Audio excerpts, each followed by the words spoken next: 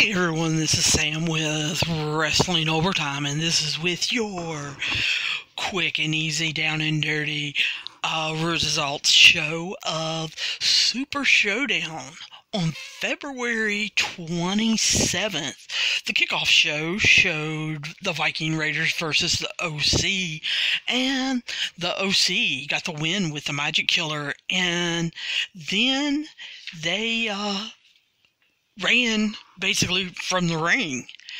Then at the start of the pay per view, they just started. They decided to start with the Tuwaiq Mountain Trophy Gauntlet match.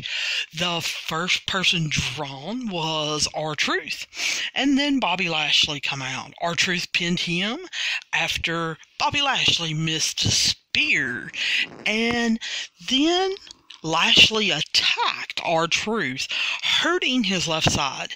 So the next person out that R-Truth had to face was Andrade. He's back from his wellness suspension, and R-Truth banged his head together uh, and got the pin. R-Truth then had to face Eric Rowan with his cage. But anyway, Truth wins after Rowan is disqualified for using the steps. R-Truth was thrown into the steps and knocked off the cage, leaving Rowan to get upset, so he used the steps and got disqualified for it. So then it was R-Truth versus AJ Styles. Styles got the win with a submission uh, using the calf crusher on R-Truth. He was just too tired and wore out to withstand that. So it became AJ Styles versus Rey Mysterio. The only problem was we saw on the big screen that Mysterio was getting beat up by Anderson and, and Gallows, the Good Brothers. And then we saw Anderson and Gallows um, take a spill, get thrown across the room, and all we saw was a trench coat. Well, of course, then we heard uh, the Undertaker's music, and Styles, while talking to him, makes the mistake of touching him. So the Undertaker just picks him up, choke slams him, still in his trench coat, and pins AJ Styles to win the gauntlet match. The next matchup was Miz and Morrison taking on the New Day for the SmackDown Tag Team Championship. Morris, uh, Morrison hit Kofi with a chair to the stomach, which allowed Miz to roll him up in a pin.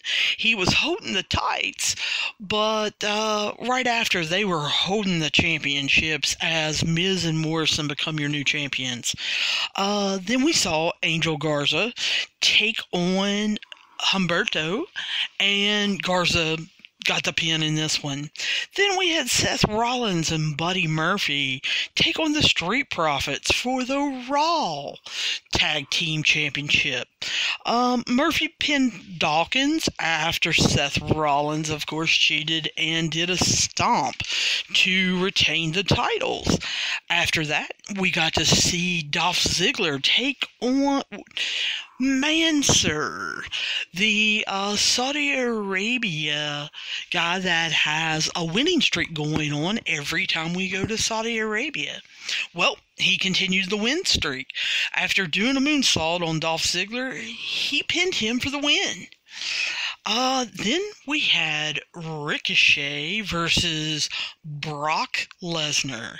Well, Brock Lesnar basically swatted at Ricochet, did three German suplexes, F5'd him, and then pinned him. Um, this wasn't a contest. Brock wins. Then we had the steel cage match. A Baron King Corbin against Roman Reigns in the steel match, steel cage match. Uh, Roman Reigns wins with a chain wrapped Superman punch.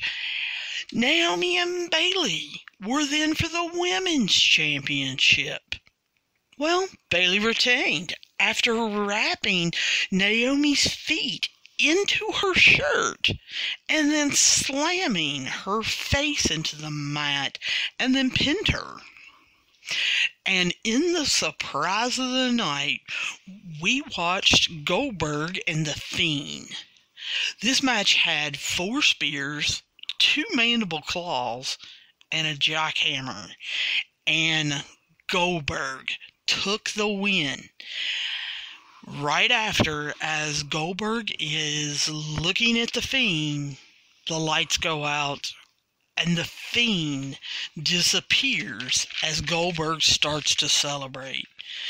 You want to hear more about the Super Showdown other than just the down and dirty results?